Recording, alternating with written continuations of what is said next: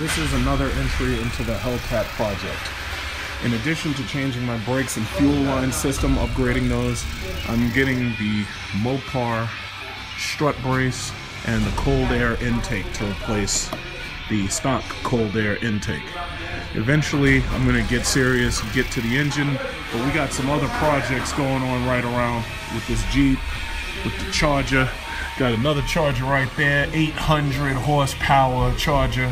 You can almost see the intercooler right in the front. You see that? Look at that intercooler. Can you see it? Can you see that intercooler? Look at that. Look at that.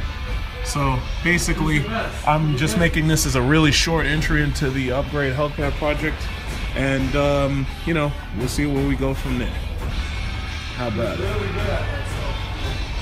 You ever seen, you ever seen a professional? Let me know what the head is. Yeah, design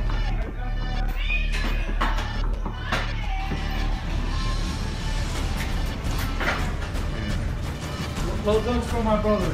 Got the Datsun out there. Thank you. And the Hellcat next to the Datsun.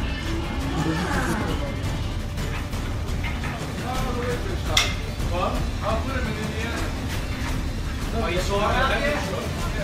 He's out there, so? Did he have a boot mic? No, but he had his his motor, the big block Ford motor,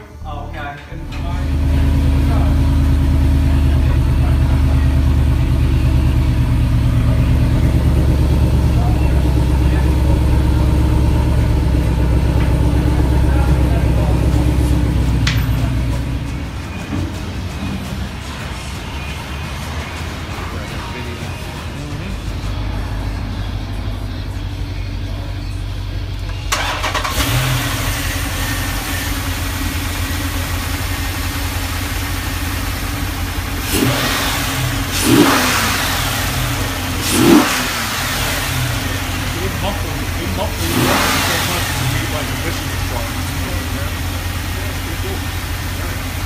good. Now, now when I go to car shows, I I can actually open the hood up.